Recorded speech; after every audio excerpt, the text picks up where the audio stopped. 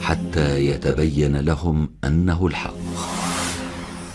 بسم الله الرحمن الرحيم. أيها الأحبة أحببت أن أتصفح معكم بعض الأخبار العلمية الحقيقة.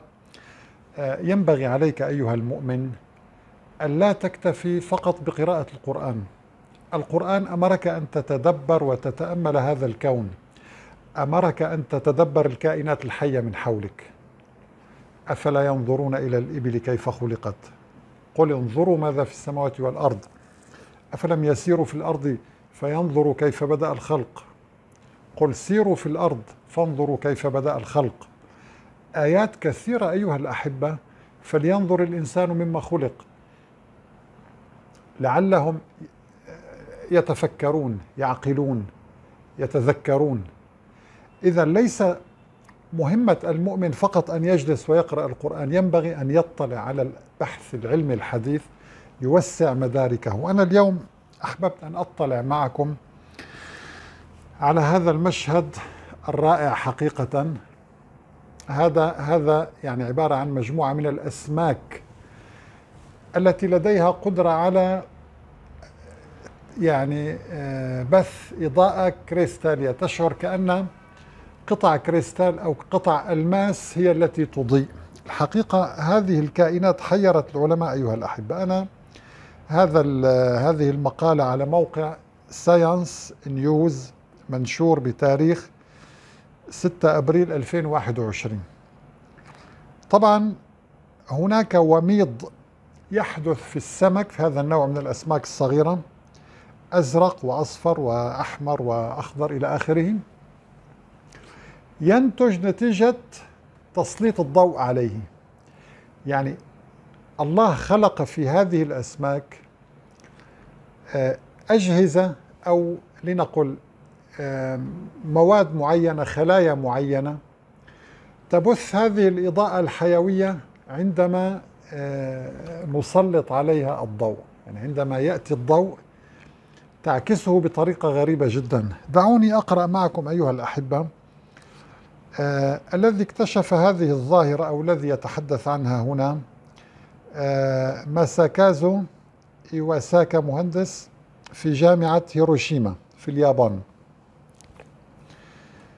وجد أن الأسماك تعكس هذه الأسماك تعكس أطوالا موجية معينة من الضوء لذلك تعطي هذه الألوان. لو عكست كل الأمواج لما رأينا شيئا. يعني الورقة البيضاء أيها الأحبة تعكس كل الضوء كل الموجات كل الطيف الضوئي تعكسه نراه أبيض. أما أن تجد هذه الأسماك تعكس ضوءا بطول موجة محدد يعطيك لون مثلا الأزرق أو الأحمر أو الأصفر. سبحان الله شيء عجيب والله أيها الأحبة. طبعا يقول آه هذا يشبه عاكسات الضوء. في الأسماك فضيات الرؤوس ويقول إنه أن هذه الظاهرة اكتشفت بالصدفة. أنا أحاول أن أترجم لكم المعلومة وأن نتأملها معا أيها الأحبة. مطلوب من كل واحد منا أن يتفكر ليزداد إيمانا. طبعا أنا لدي هنا فيديو أيها الأحبة يمكن أن, أن ننظر إليه مثلا. يعني هذا فيديو هنا كيف تتألق هذه السمكة انظروا. تتألق بطريقة رائعة جدا.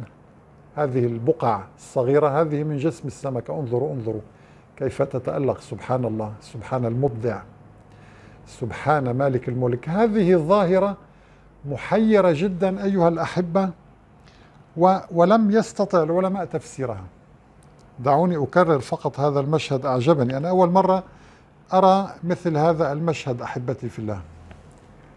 انظروا كيف يضيء ألوان متناسقة أخضر أزرق قليل من الأصفر آه، أرجواني ألوان يعني ألوان عجيبة جدا. وهنا أيضا انظروا معي كيف هذه البقعة تضيء باللون الأخضر والأصفر. انظروا أيها الأحبة. الحقيقة يعني آه، شيء مذهل والله أيها الأحبة. كيف تتمكن هذه الأسماك الصغيرة التي تدعون أن الطبيعة هي التي طورتها؟ كيف تتمكن من صنع هذه اللوحة الفنية التي يعجز البشر عن تقليدها؟ يعني البشر الآن يعجزون عن تقليدها حتى إنني أقرأ هنا إن هذه الظاهرة لا زالت حتى الآن لغزا يحير العلماء. سؤالي أنا خطر في بالي الآن.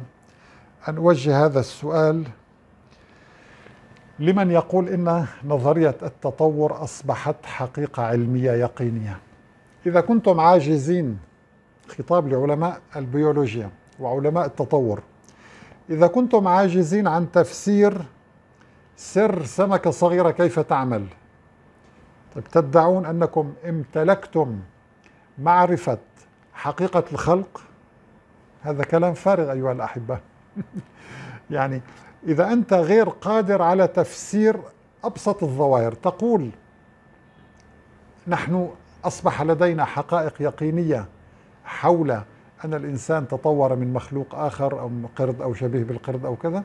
هذا الكلام أيها الأحبة غير مقبول لأن العلماء حتى الآن يدرسون هذه الظاهرة ووجدوا أن هناك تركيب خاص في الخلايا. هذه إضاءة حيوية. يعني لا يوجد تيار كهربائي. كيف تضيء؟ من دون تيار كهربائي من دون مصدر للطاقة. هي تعتمد على الغذاء فقط. تحول هذا الغذاء إلى ضوء. بخلايا حساسة للضوء تعمل بطريقة عجيبة جدا والله أيها الأحبة. لذلك يعني حتى الباحث الذي اكتشف هذه الظاهرة آه، تجده يحتار وتجده يعني آه، لا يعرف ماذا يقول وكيف يفسر؟ نحن لدينا آية في القرآن أيها الأحبة. نفسر هذه الظاهرة. هذه الظاهرة وغيرها وضعها الله لك أيها الإنسان لزيادة يقينك أنه خالق كل شيء.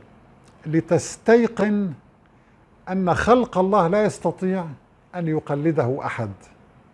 هذا خلق الله فأروني ماذا خلق الذين من دونه بل الظالمون في ضلال مبين. نسأل الله أن ينفعنا بهذه المعلومات. والسلام عليكم ورحمة الله تعالى وبركاته. سنريهم آياتنا في الآفاق وفي أنفسهم حتى يتبين لهم أنه الحق.